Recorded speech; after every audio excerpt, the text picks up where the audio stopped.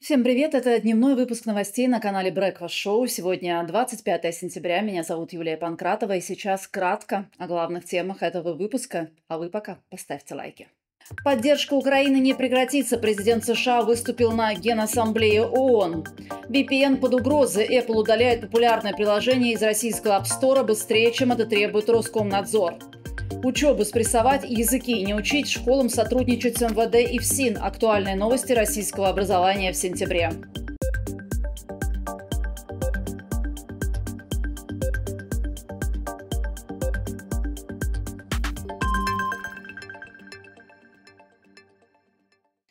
Сегодня ночью Россия, как и много ночей подряд, нанесла удары по нескольким украинским регионам. Всего по стране было нанесено 397 ударов. Несколько авиабомб были направлены на Запорожье.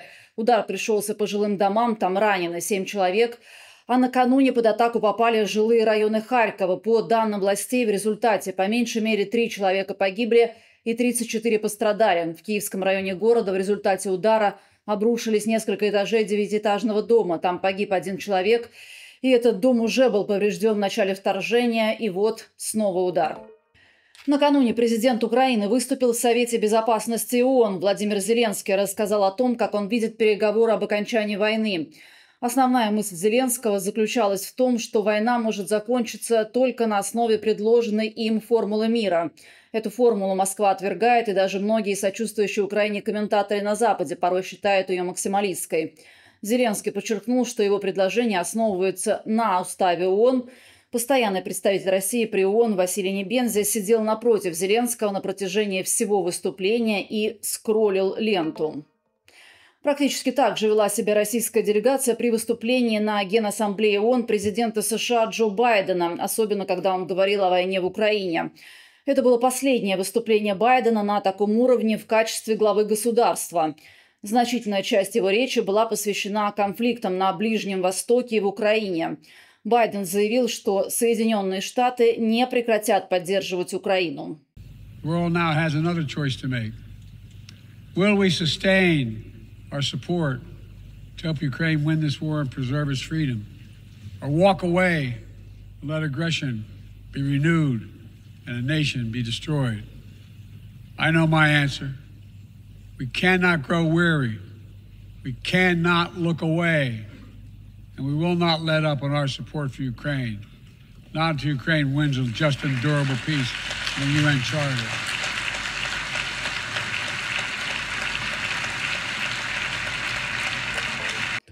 И Джо Байден приедет в Германию, чтобы обсудить с Шольцем, Макроном и Стармером дальнейшую поддержку Украины. Об этом пишет Шпигель. Визит начнется уже 10 октября. Президент США пробудет в стране три дня.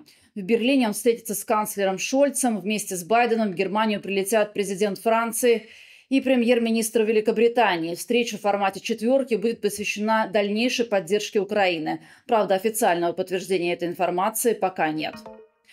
К российским новостям заместитель по делам СВО. Есть теперь у муфтия Татарстана. Должность получил Мансур Джалиледдин, имам старейшей мечети Казани.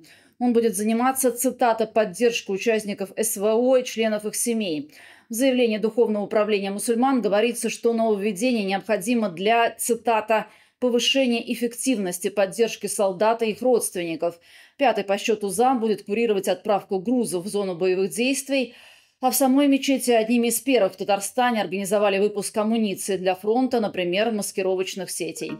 Компания Apple удалила более 80 VPN-предложений из российского App Store. Об этом пишет Роскомсвобода со ссылкой на исследование проекта Great Fire. Выяснилось, что Apple удалила 60 VPN-предложений из российской App Store с июля по сентябрь этого года.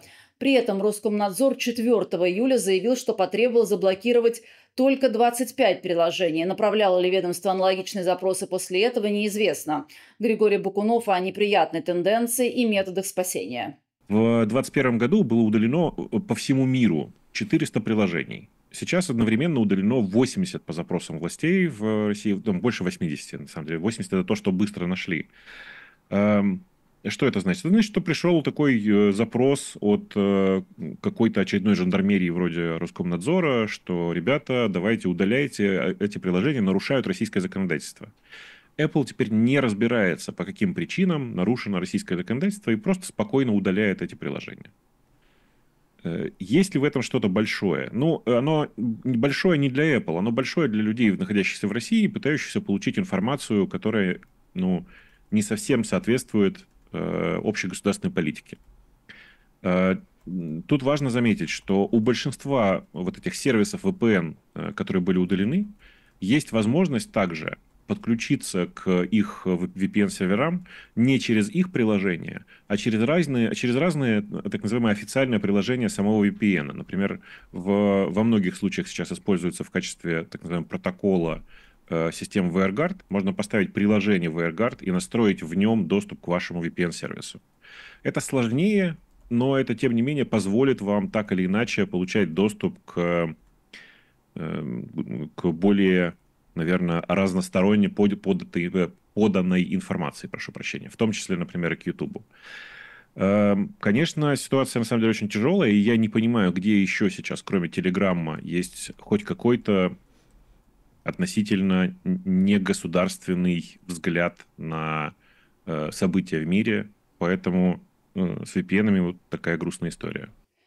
Ну и в качестве слабого утешения могу сообщить лишь то, что сегодня TikTok заблокировал аккаунт пропагандистского канала РИА Новости на фоне новых санкций США. Хоть какая-то польза от ТикТока. Ну и к новостям образования, российского образования. Сентябрь подходит к концу, подводим итоги. Владимир Мединский назвал непозволительной роскошью 11-летнее обучение в школе. По мнению помощника Путина, срок обучения в школах может сократиться, чтобы подростки раньше приступили к профориентации. Как считает Мединский, образование должно быть спрессовано, и тогда молодые люди быстрее вступят в настоящую жизнь. Мединский добавил, что 5- и 6-летнее обучение в вузах тоже должно остаться в прошлом. По его словам, все образование должно быть рассчитано на 10 лет, а те, кто не смогут переучиться, просто будут неконкурентоспособными. А Миноборнауки планирует исключить сдачу ЕГЭ по иностранному языку для таких специальностей, как экономика, менеджмент и управление персоналом. Это следует из проекта министерства – который недавно опубликован на федеральном портале проектов нормативных правовых актов. Теперь для поступления на данное направление предусмотрены ЕГЭ по математике и русскому, это обязательные, а также по информатике, истории, обществознанию или географии на выбор вуза. Иностранных языков теперь не будет.